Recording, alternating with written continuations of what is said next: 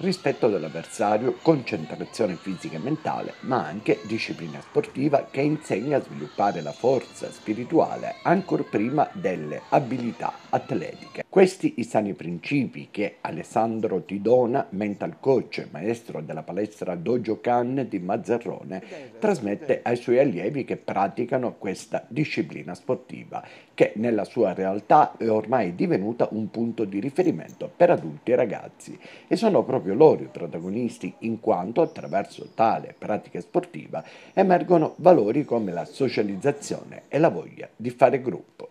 Ho iniziato a fare questo sport all'età di 6 anni, è uno sport che aiuta molto eh, sia mentalmente che fisicamente.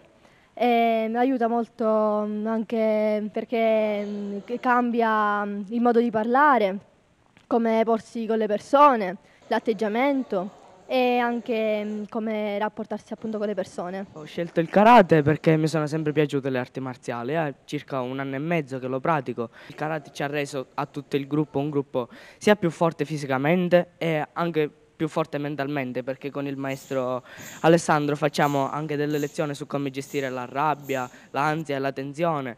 Poi magari è bello venire qua in palestra non solo perché ci insegnano tante cose, ma anche perché siamo un gruppo abbastanza numeroso, come potete vedere, e quindi viene la voglia di stare insieme agli altri amici. Anche per i bambini in età adolescenziale il karate è uno sport di sani principi che aiuta nella crescita coinvolgendo il corpo e la mente e che è possibile praticare a cominciare dalla tenera età di appena 4 anni.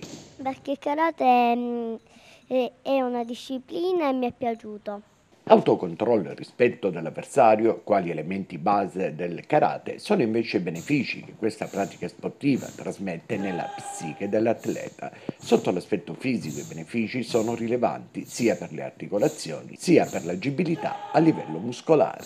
Impariamo a gestire la rabbia ma eh, sotto un altro punto di vista, quindi non utilizzando la rabbia contro il nostro avversario, ma utilizziamo, ecco, usiamo la rabbia per caricarci ancora di più. Studiamo molto eh, l'autocontrollo, sia fisicamente, perché quando ci alleniamo e ci mettiamo ad esempio a coppia, non affondiamo i colpi. E eh, quindi l'autocontrollo usato anche eh, psicologicamente, anche mentalmente, nel senso che c'è un allenamento dietro, proprio un allenamento mentale, quindi non soltanto fisico ma anche mentale. Conclude il mental coach e maestro Alessandro Tidona che assieme ai suoi atleti sono reduci da una competizione agonistica svoltasi a Montecatini Terme che ha consentito al suo gruppo di ottenere validi e buoni piazzamenti. Col karate si inizia già all'età di 4 anni facendo dei, della preparazione per poterli eh, poi immergere in quello che è il karate, quindi si fa più un'attività basata sui percorsi, basata sulla psicomotricità. Abbiamo tante regole da rispettare. La prima cosa fondamentale è il rispetto.